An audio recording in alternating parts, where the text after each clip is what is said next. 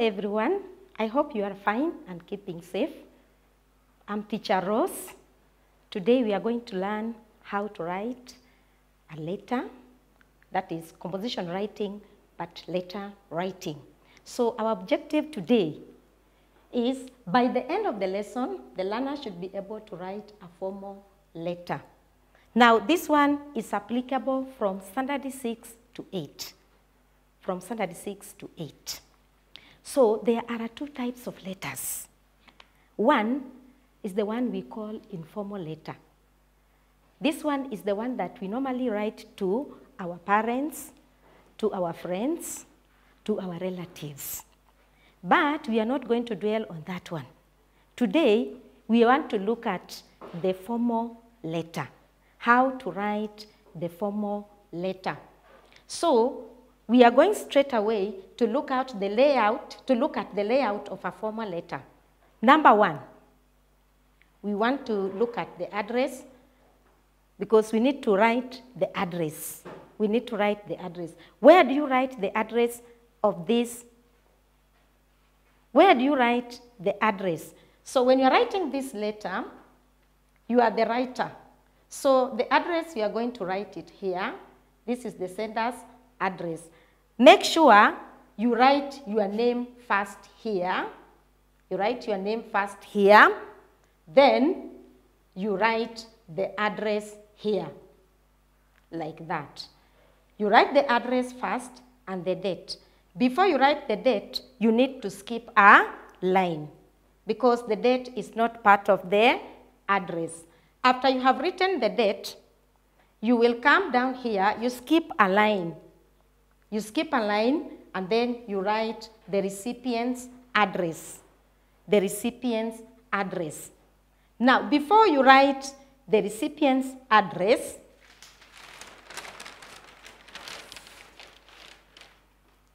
of course, it will appear just below the date, but on this other side here. So before you write the address, you need to write the title of the recipient. For example, if you are writing that letter to the head teacher, then it means you will start by writing here the title, that is the head teacher. Or if you are writing that letter to a company, then you will say maybe the managing director here. You start by writing here the head teacher of, what, of which school, so you write the school there. Then after that, you are going to write the salutation. You are going to write the salutation. Now, what is the salutation? The salutation is the formal greetings showing courtesy. The formal greetings showing courtesy. For example, if the head teacher is a male, then you are going to say, Dear Sir. You write here, Dear Sir.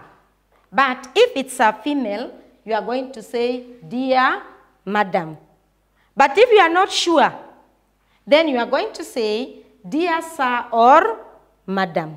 Dear Sir or Madam. After salutation, you are going to write the reference of the letter. You are going to write the reference of the letter. What do we mean by reference? This is the title. You are going to write the title of the letter, why you are writing that letter. For example, if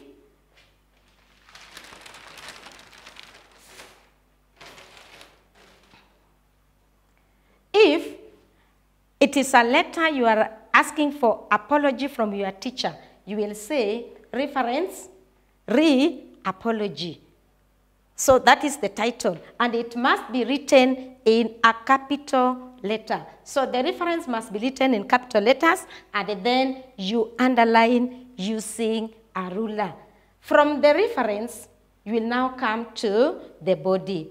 So the body should be brief with only relevant information.